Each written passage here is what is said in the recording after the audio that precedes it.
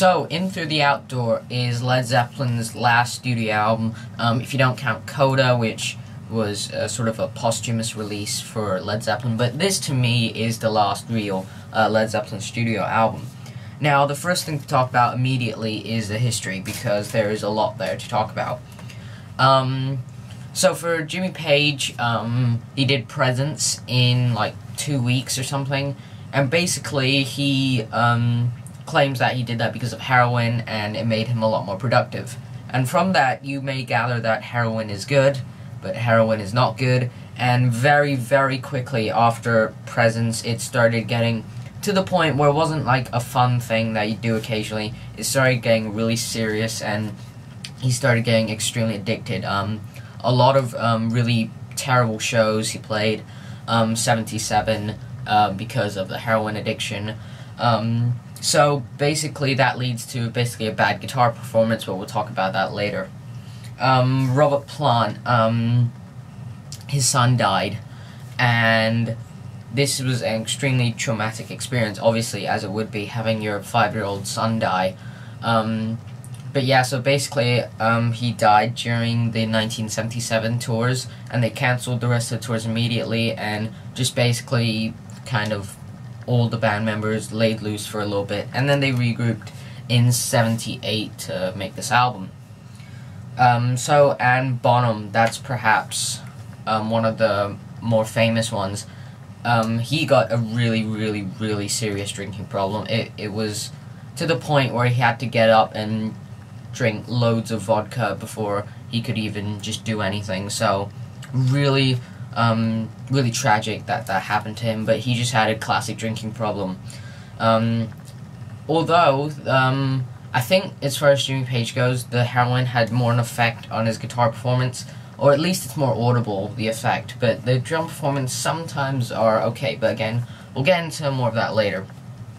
So, um, what is the reason why they made this album? Now, they made this album almost entirely because John Paul Jones got a new uh, keyboard or synthesizer or something like that, and he wanted to try it out.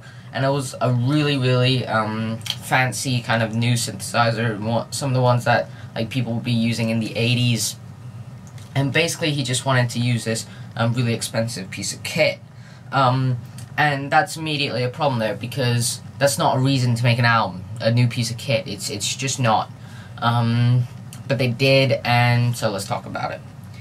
This album stylistically is almost all synth driven, and I have no problem with synths. I love synths. Synths can be great, but it doesn't sound right for Led Zeppelin to um, be synth led. Led Zeppelin are always, you know, a really guitar based and all about the vocals and good performances.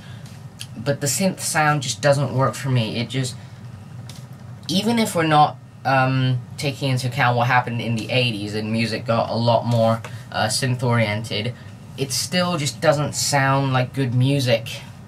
Um, doesn't feel like Led Zeppelin. It doesn't feel like Led Zeppelin is there at all in, on this album at all.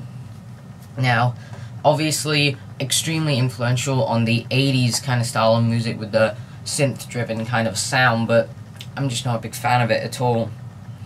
Um, and the main problem with this album is that it just lacks substance. Um, it lacks good writing in almost all of the album.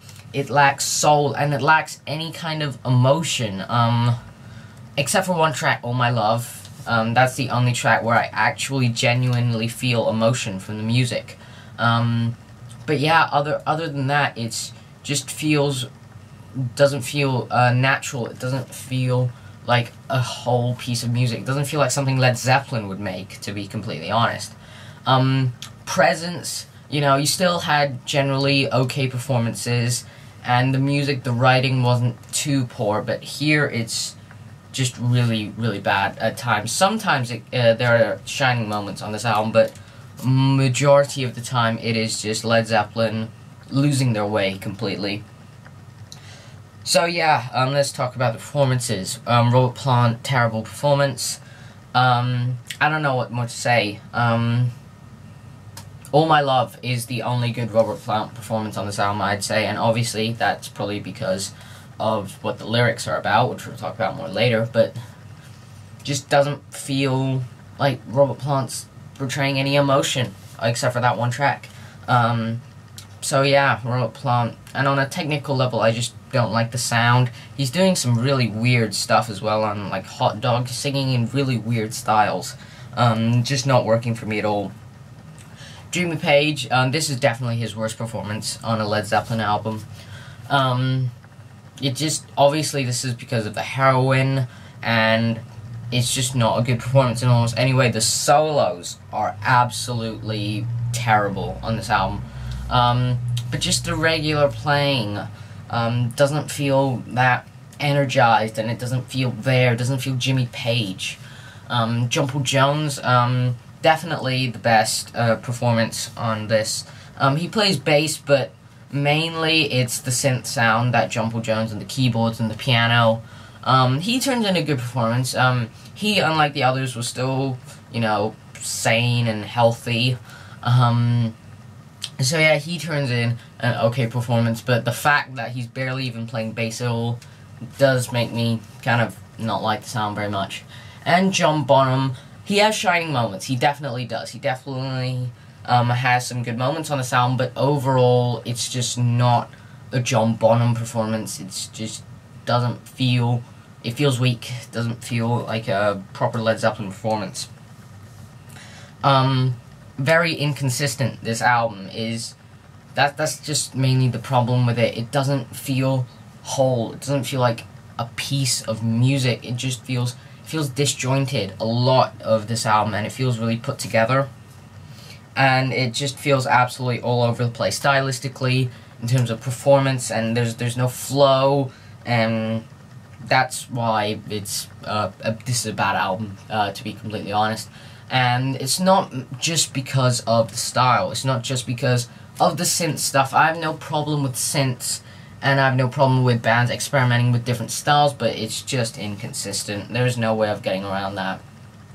And so now let's move on to the track list. Now this album opens with In the Evening, um, actually starts off okay, has some um, nice kind of atmospheric synths, you know, going on. This alright. And then, you know, Robert Plant starts singing, and then basically don't like the rest of the song at all. Really sloppy guitar solo. Like, what on earth is that? That is pretty terrible to listen to. And it's just really repetitive. It's too long. It's over six minutes. And I basically lose interest as soon as Robert Plant starts singing. Um, so yeah, next track is South Bound Saurez. Now this is a terrible song. Um, absolutely horrid vocal performance. Um, this is just basically a pop song. It doesn't feel like a Led Zeppelin song at all. Um, the, you got John Paul Jones on the piano. That's kind of okay. But the guitar solo, oh my god, that is a terrible guitar solo. Um, and it, it doesn't feel right with the style. The style of the song is not in tune with extremely distorted guitar solos, you know. Um, so it just feels completely out of place, and yeah, so really, really terrible song. Um, probably my second least favorite Led Zeppelin song. Um, we'll find out what the worst is later. Um, in the Rain. Now, this song is actually one of the songs that I actually don't mind that much. Um, it starts off with a pretty catchy piano riff, and it's like, okay, I could get into this.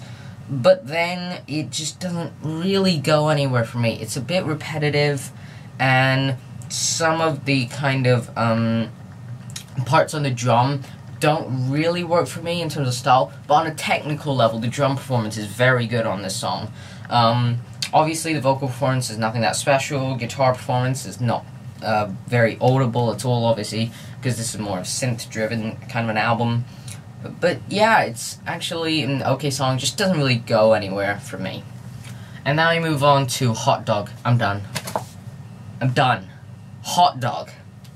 Hot dog. What what is this? What is this song? I I don't know. Clearly they don't know. What were they on? Well, we do know what they were on. They were on heroin and lots of alcohol. But that's besides the point. This is a joke. This is not a real song. This is a joke song. You got Robert Plant there trying to do an Elvis impersonation while you got this ultra poppy really repetitive piano riff and just a terrible vocal performance and this atrocity of a guitar solo. What is that? That is. Oh my god, that is terrible. So yeah, this song is my least favorite Led Zeppelin song. Uh, what even is this? This isn't even like a, a real song. This is a joke. It's not a. It's out of place and it sucks. Moving on. Carouselambra. Now, this song is actually has some good moments in it. Now, the opening section is basically a synth-led kind of a keyboard-oriented kind of sound. And it to me this song doesn't work as a cohesive piece of music. But there are good elements in this. Um, the synth playing is good. The keyboards are good. Um, it's almost four minutes before you can even hear the guitars. Um, but finally, some actual good instrumentation on this song. Very rare on this album, but there is some in there. And the last section um, just feels repetitive to me. Um, this song's way too long. This is the second longest uh, Led Zeppelin song, uh, the first being In My Time of Dying. Um, but yeah, the main problem is it doesn't work as a cohesive piece of music, but there's some good instrumentation in there. Um, the vocal performance is mediocre, but it's okay. And so now we move on to All My Love. Now this is actually a pretty good song as well. Um, this is by far the best vocal performance, in my opinion. Obviously, that's due to the lyrics being about the death of Robert Plant's son. Um, so finally, we get some emotion from um, Robert Plant. And the synth riff is okay, but other than that, this is really a vocal-oriented kind of a song. Now we move on to the last track. I'm going to Crawl, and this is a slower song. Um, this has the best guitar solo on this album by far, and the vocal performance is better than most of the tracks, but other than that, it's a bit repetitive and doesn't really go anywhere for me. Um, so yeah, into the outdoor. Weak writing, inconsistent performances, and just overall is a lackluster mess, and it gets a 3.5 out of 10. Later.